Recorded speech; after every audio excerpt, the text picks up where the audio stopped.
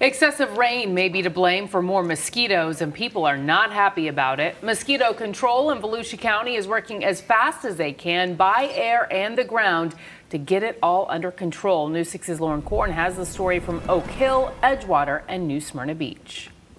They're pretty bad this year. I've, you know, I have a lot of bites on my, my legs and my arms. And Megan Monona says it's especially bad when walking her dog Prince in her Edgewater neighborhood. In the evening when we walk them around this neighborhood, we, we feel it more. Monona isn't the only one feeling the sting. These are Aedes mosquitoes, salt marsh mosquitoes that uh, will bite. They're very, very pesky and annoying. And thanks to the rain and wind, the salt marsh mosquitoes are invading some areas of Volusia County, including Oak Hill, Edgewater, and New Smyrna Beach the Merritt Island Refuge and the Cape uh, Canaveral.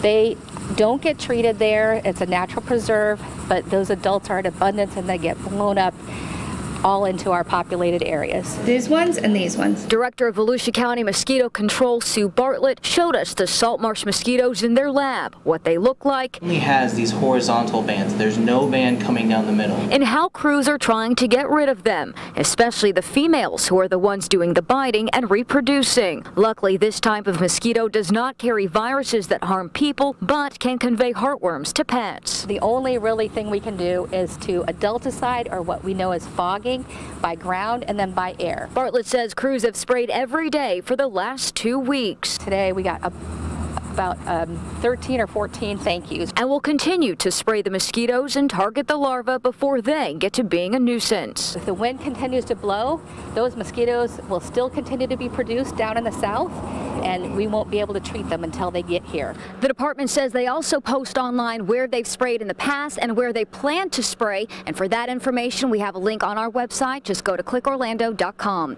In New Smyrna Beach, Lauren Korn, News 6. Now find out how to limit the risk of mosquito-borne disease with a few simple steps. You can read about that on our website, clickorlando.com.